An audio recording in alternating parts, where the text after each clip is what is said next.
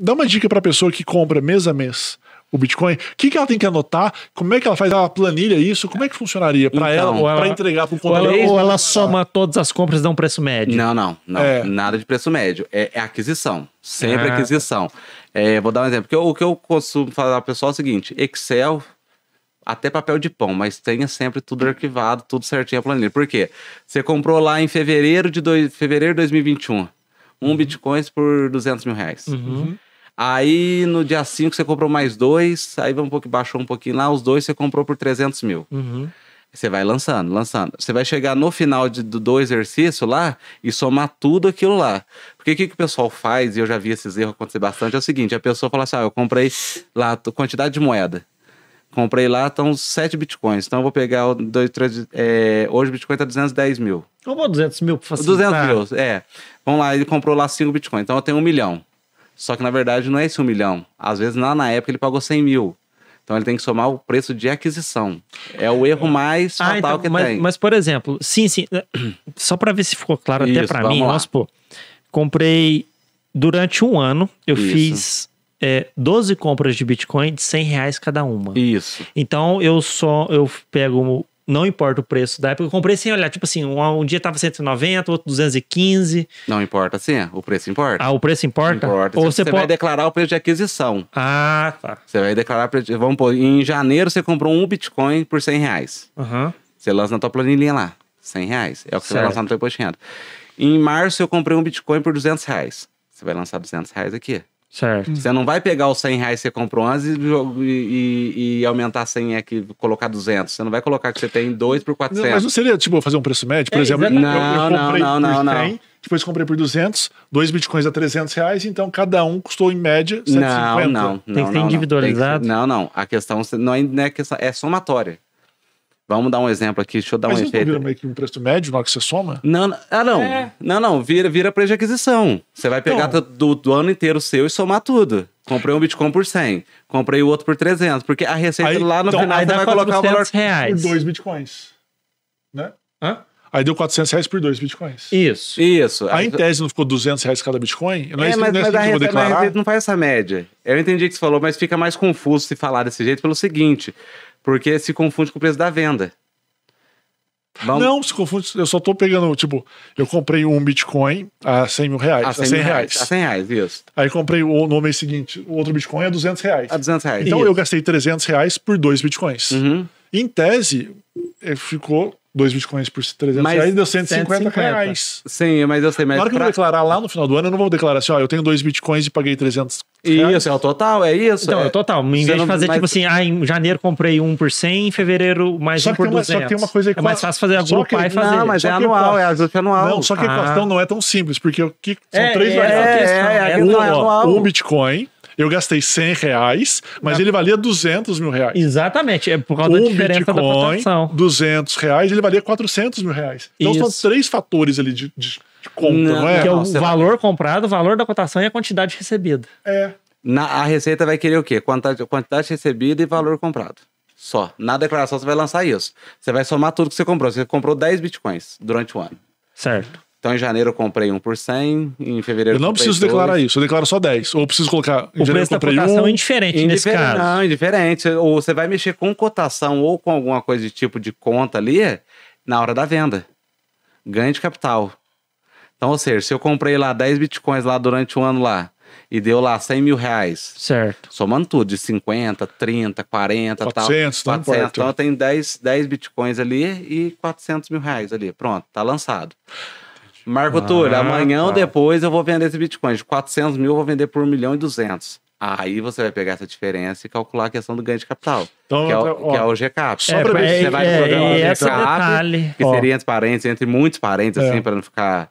É, seria o carnê-leão da, da GCAP. Só pra ficar claro, Tem uma então. forma didática. Uma forma de dar. eu vou comprar bitcoins ao longo do ano, então eu gastei 1.200 reais. Isso. Lá naquele campo lá embaixo, 31 do 2, eu gastei colocar 1.200 reais ali. 1.200 reais é o E total. aí eu coloco a quantidade de bitcoins que eu tenho Na aqui. descrição. Só na isso. descrição, só. Eu não preciso pensar no preço médio nem não, nada do gênero. nada, não. Você não tem que fazer conta Agora- nenhuma dentro do imposto de renda. Agora, só da, daquela complicadinha.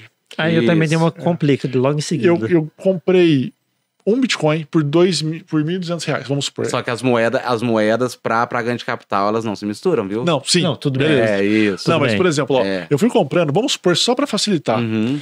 Eu comprei 100 reais, 100 reais, 100, 100 reais, 100 reais, 100, todo, todo mês. Todo mês. 1.200 reais, declarei 1.200 reais e isso fez com que eu comprasse um Bitcoin. Vamos supor que tá 1.200 reais. Isso. 100, né? 1.200 reais compra um Bitcoin. Uhum.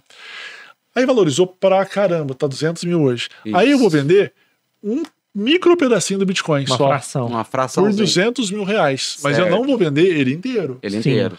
Como é que eu faço essa conta? Cê- ah, então. É, o que acontece? Né? Aí, cê- cê- eu tenho um. Bitcoin por Você tem um 1.200 Bitcoin, reais. Você vai Aí vendeu vendi, é como se 0, você vendesse uma parte fracionada de um terreno. É, Exato. exato. Você vai, vendi 1% do terreno lá, você vai ter só que é muito mais do que o terreno inteiro que eu comprei. exato. Exato. O, o- você vai pagar sobre o ganho de capital e fica com aquela moeda. Aí vamos supor. 0,09. É que, por exemplo, um, 0,08. um Bitcoin é 100 milhões de satoshis. Isso. Aí eu vendi 100 mil satoshis. Então, então eu vou falar assim, ó, eu vendi 100 mil satoshis por 100 mil Por reais. 100 mil reais. Ah, na verdade, o que acontece? A própria corretora, que quem tem corretora, quem é no particular ali, você vai ter que declarar essa venda esse ganho de capital. E, e pelo que eu entendo, por, por ser a, a moeda, ela não se dilui. A moeda é uma só. Ela é uma e é 100 mil dentro dela, certo? milhões. Isso. 100 milhões, isso, 100 milhões dentro dela. Então, ou seja, ela não se dilui assim, ela se dilui porcentagem ali dentro, no Certo. caso do terreno. Certo. Então, se você vendeu, você ainda tem a criptomoeda. Sim. Eu tenho o restante. O restante dela ali. Só que ela não deixa de ser um- o Bitcoin. Ela vai deixar, ela vai ser um Bitcoin fracionado. Sim, perfeito. Aí, aí você vai ter que lançar o ganho de capital Uhum. e lançar e tirar também da- do preço de venda. Eu entendi o que você quer dizer, do preço da compra, da, da aquisição. Aí você é vai que eu vou diminuir a lá? aquisição, o preço de aquisição. E aí? Porque no, mês, no ano seguinte era 1.200. Eu tenho quanto agora? É, vamos supor Exato. que você tem só mil em relação ao preço de aquisição. Não, e, e- isso, e eu entendi essa confusão, a- essa, essa, É, essa parte essa né? bagunça, e, e me confunde até numa, na questão seguinte, que é outra coisa que eu, eu, vou, eu, vou, eu vou passar bastante informação pra vocês. Falar, assim, ó, o Marco Túlio pegou isso, isso, isso, mandou se explicar pra vocês aqui. O que que acontece? E se, e se o Bitcoin cai também? Você vendeu por 200 mil, vamos, vamos pegar outra hipótese, vamos, vamos bagunçar a Receita Federal Vamos. agora. Vamos bagunçar que tá Vamos legal. olhar as folhas, Folhar de folhar tudo, o- é. as Vamos- instruções vamos- do vamos- Impost de vamos- E e falou assim: ah, mano, eu, É, deixa quieto. vocês se Vamos, viram aí. vamos, pra dar, gente ver. vamos, vamos dar um outro exemplo agora. Você pegou, você pagou 1.200 no Bitcoin. Uhum. Aí você pegou aquela fração, valorizou tal, foi para um milhão. Um Bitcoin agora é um milhão. Só que você pa- vendeu uma fraçãozinha ali por 200 mil. Beleza, você teve um ganho de capital, você vai declarar aquilo lá, tal, G- o GCAP, tudo certinho, beleza. Passou um mês, você- na, na tua cabeça você tava com um milhão ali. Desvalorizou total, zerou o Bitcoin. E aí? Compra mais. Compra bastante. compra mais, vai que valoriza, né? Aproveita que valoriza. Mas você vai. Mas em tese, Tô brincando aqui. É. compra, é, compra mais, mas ao mesmo tempo tem esse problema Contábil, dentro, isso, ali contábil. dentro, justamente. Que aí que você vai. Porque você tem que declarar sobre o valor da, da tua aquisição. Independente se caiu ou se não caiu, a aquisição é aquisição. Uhum. Você vai dar como perda. A questão é que eu nunca vi ninguém vender as coisas no prejuízo. É coisa rara. Cê- Acontece. Ah, no mercado cripto o pessoal vende. desespero. No Talvez desespero Bitcoin vende. não, mas essas moedicas. Quem, quem não pega um- desespero. uma despencada É, de Bitcoin de 50% eu não teria igual coragem, eu peguei, tem uma galera já- que vai vender. Ih, fala isso que não vai dar em nada. E vende. Sério mesmo. Ação vende pra caramba também. É? Não, a ação, a ação- mas a ação tem aproveitamento do, do prejuízo, que é. É. que é aquela dúvida que eu tô querendo ter da É. cripto, que vai ser a vantagem Qual que é da o cripto. percentual que se paga no ganho de capital? E de qual, qual montante A que tabela, se paga? a tab- vamos pegar a tabela, hoje é 15%, 15. até 5 milhões. Aí vai subindo. Vamos... Dos 35. 35 é isento sempre. 35 é isento sempre. Então eu vou tá. pagar Isso. 20% do que eu pago, ganhar acima de 35. 15% isso, do que pagou acima de 35, justo. Entendi. É Então se eu ganhei 15%. 5 mil, eu pago 15% É, você ganhou cinco. 5, vamos pôr, você ganhou 4 milhões e meio. É sobre 15%. 15%, tirando os 35 É, mil. aí, aí fica, a, dá par- aí, 4 aí, aí fica a parte 400 chata, né? e Porque aí a- 75 mil. Que aí, a- que aí a próxima, a próxima alíquota é 17,5%. Aí imagina a pessoa que ganhou, tipo, 5 milhões e 1, e um, por exemplo. Já vai para 17, 2,5% a mais Mas por causa acima- de um, De um real. Mas acima dos 5 de milhões. 5 milhões. Não 5 milhões e um abaixo. real. Não, abaixo, é.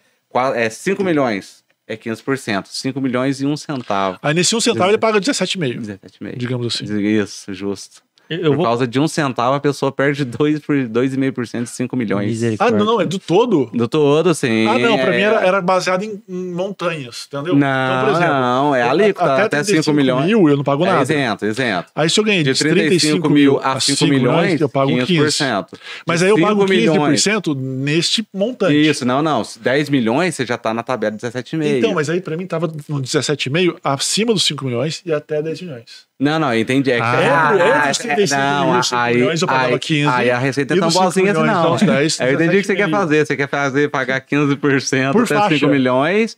Não, não, Isso. mas é por faixa. Só que você quer fatiar, tá- você quer fatiar. Não, aí não, é a receita. A receita, a receita Ela pega a fatia É um leão, ela vai, maior, pegar, né? ela vai pegar a fatia maior. é. Não, mas não deveria, né? É, seria justo. Não, mas aí deveria. acontece, aí se confunde com a renda. Vamos dar um exemplo assim. Hoje a renda, vamos pôr, começa dos 15% da pessoa física, declaração. Uhum. A pessoa ganha, a pessoa ganha até 28 mil, é isenta. Certo. De 28 mil até X é 15%. De, que, de tanto a tanto é 27,5%. Aí, se- aí seria a mesma coisa de eu falar o seguinte: ah, então eu vou de 15% só até aqui nessa faixa minha, o resto que eu ganhei eu vou até 27, vou por 27,5%. Não, não é assim? É, mas deveria. Não, mas não é. Né? A faixa que você 28 se mil. enquadra é a aquela, faixa não que você se enquadra é aquela. Não, mas aí hum, tu tuxa é um imposto muito maior. Às vezes, nessa É, história que por você tá de um comentando- real, você pega um Não, você mas, paga mais. mas, mas É, imagina, mas então, por imagina, exemplo, ó, eu mas imagina. 28 mil, sou isento. Aí vamos supor que é 32, 15%. Isso. 32 e 1 vira 20%. Isso. Pô, eu pago pra trás 20%. Não, porque aí que acontece, aí você, você É imagina, justo. Você imagina, É. você imagina, pega um Faustão da vida, vamos pegar um cara ricão que ganha um milhão. Faustão tá aí, ganhando aí, ele vai, imposto, aí, aí o Faustão vai fazer assim, então, 28, tira de um milhão, 28 mil você tira que eu não vou pagar, aí de 28 mil até 50 É. mil eu vou pagar 15, diz, não, é direto, é da renda. Até, Ah, porque, até porque Ela seria- pega o montante todo Até- e onde até- se encaixa. É, e tira é porque- tudo. é porque- é porque-. Mas pro Faustão tá tudo certo. Ah, O não, é a ele, se ele pagar, é, Não, a gente é mero mortal e, nessa e, parte. e, e é, o- e é o Mas se eu falo aumenta, pessoal. depois por 10 reais no teu negócio, quer dizer que você aumentou o teu imposto de renda em E- 500 reais. Aí você pergunta, É? aí uma pergunta pessoal, por exemplo, assim, que eu, que eu faço uma crítica, é, que eu tenho a opinião, já, aí já é pessoal já. É, a tabela do, do imposto de renda, ela é. Você acha ela justa? Não. Ela é defasada, que a gente Nossa, sabe. só- Não, e outra coisa, o que, que eu sou a favor? Pelo seguinte, porque o imposto é,